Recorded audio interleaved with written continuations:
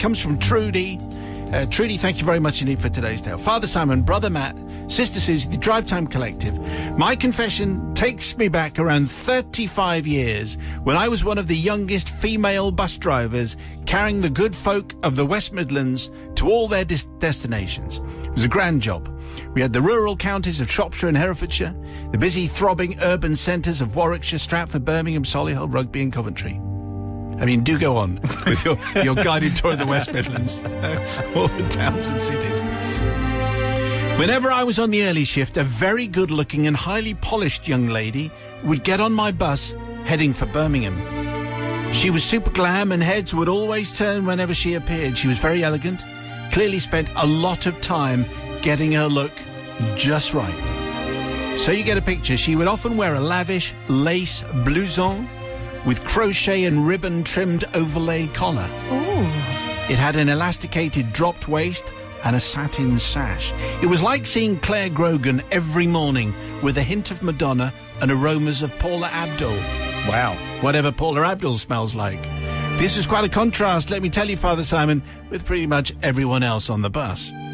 She was obviously stuck up and rather grand. Right. Okay. also ra- rather grand with her fancy airs and look at me graces. yeah. Yes, she was fabulous, but boy, did she know it. Yeah. I thought of her as Lady Gladys. That's what I called her in my head. La- Look out, here comes Lady Gladys, I would think, as I saw her in the mirror, sashaying her way towards the bus. Arrogance oozed from every pore. I wonder how many degrees of ghastliness she's going to share with me today, I would think. She would always give me a smug look of perfection as she got on. Her look said, My word, you're a dowdy little thing in your drab little cabin, driving this drab little bus in your drab little outfit. I sat there, it's true, Father Simon, in my frumpy uniform with my hair barely brushed and no makeup on. She was wearing clouds of odor spectacular. I wore, I wore a splash of Malibu musk, which made me smell like, like a pineapple. And not in an exotic way, more of a Hawaiian pizza kind of way. You get the picture. I didn't actually smell of bread and cheese, but not far off. Every what a bus this is. Yes. Every journey, around four stops from her destination, she would get out her po- compact mirror and lipstick and touch up her makeup. Frankly, she barely needed it. She looked like she'd been made up by an army of Hollywood makeup artists anyway. Skin just right, lips perfect, mascara incredible. But then something terrible happened.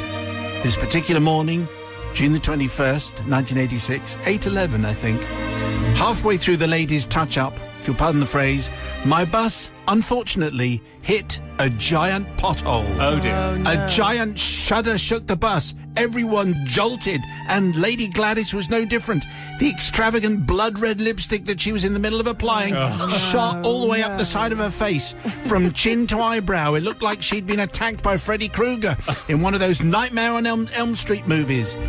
Unfortunately for Lady Gladys, it was around the time of the invention of apply once and stay all day lipstick. I didn't know there was such a thing. No. Anyway, she rubbed and she rubbed, and it smudged and it smudged.